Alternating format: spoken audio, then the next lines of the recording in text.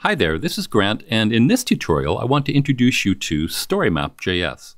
This is free online software that lets you tell a story with media, that could be images, video, or audio, and augment that story with specific locations on a map.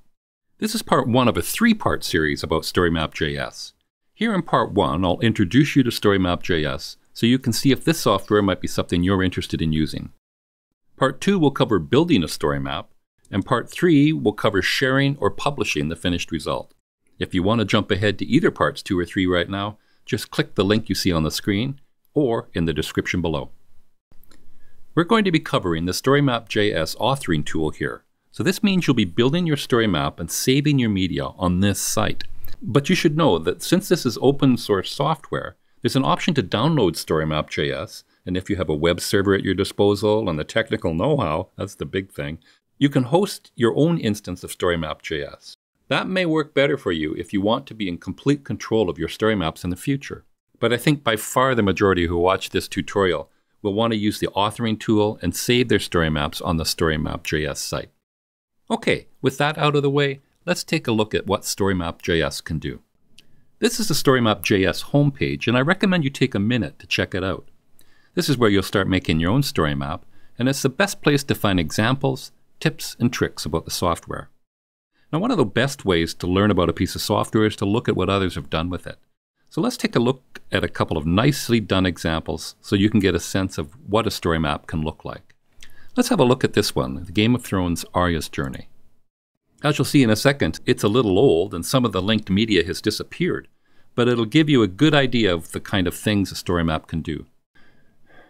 On the left, you see a map, and on the right, you see some heading text and some text introducing the story map. Now that's something that'll carry through every slide that you see in a story map. A map on the left side and some media of some kind on the right. What we're looking at here is the story map title screen. It displays an overall map view that includes all the location markers that have been added in the story map. Clicking the right arrow takes us to the next slide. As you can see, the map zooms to the location of the first slide's marker on the left and shows some media on the right. In this case, we've got a deleted YouTube video, a heading, and some text describing the slide. Notice here that there's also a background image of Winterfell Castle, providing context for the video and the text. So this slide gives us a good place to stop and learn about the four main building blocks of every story map slide. First, there's a location marker specified on the map. On the right, you have three options. In this middle space, you can have some media. That could be an image or a video or maybe an animated GIF, a heading and some text, and a background image. At least one of these three elements is required on the right side of the slide but you can include any combination of the three. Let's go to the next slide. In this case, we have an image with some text, but no background image. In this case, another YouTube video and a background image. In this case, an image, no background image, and some text. And in this case, just the background image and text. And this is effective because we're zoomed in on those characters. So now that we've seen the slide examples in this story map, you can see that your entire story map is made up of variations of these three media elements on the right side and a location on a map on the left side. Finally, notice at the top left there's a map overview button. If I click that, we return to the title slide version of the map where all of the location markers are shown. There's also a back to the beginning button, which takes us back to the beginning of the story map. Now let's take a look at one other example quickly. Of course, that example we just looked at used the entire screen to display the story map, but I want to show you one other example here that displays in a more confined space, like a narrower blog post.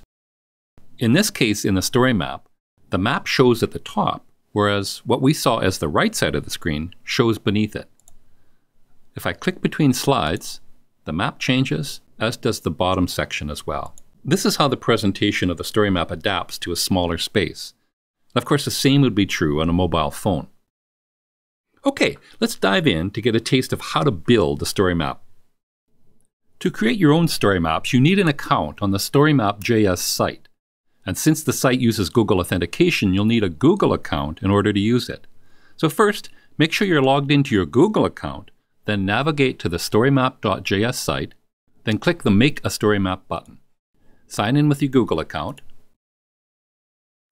Now you're prompted to make your first story map.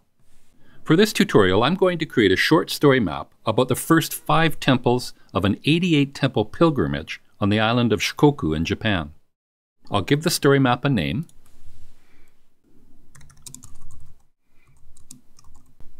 And click Create. Okay, you get your first look at the story map authoring tool. I'll just do a quick overview of the screen here and then dive deeper into building a story map in part two of the tutorial. You'll see here there are four main sections.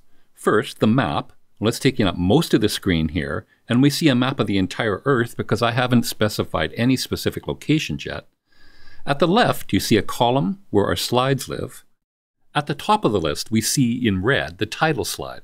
That one is set apart from the other slides because remember, it contains all the map locations you set in your story map as a whole.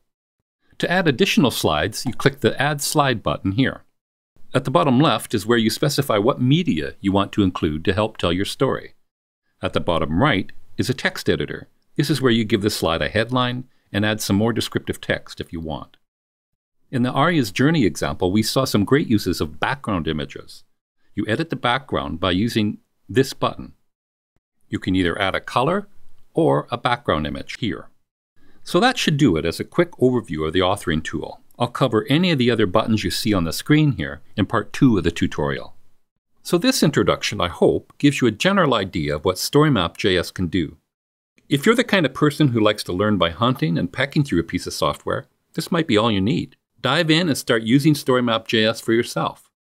For others, continue on to part two, where we'll look at how to build a story map, and then part three, where we'll walk through the steps for sharing a story map. If you want to jump to either of those right now, just click on the links on your screen or in the description below. Thanks for listening, and see you in parts two and three.